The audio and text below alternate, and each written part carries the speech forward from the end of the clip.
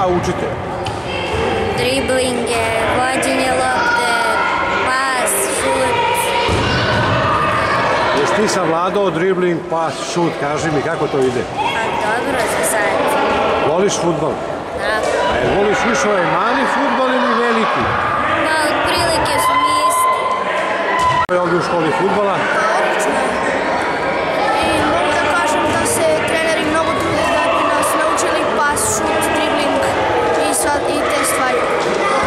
Teško, naporno? Pa nije baš teško. Jel često igraš sa decom, sa svojim drugarima futbal?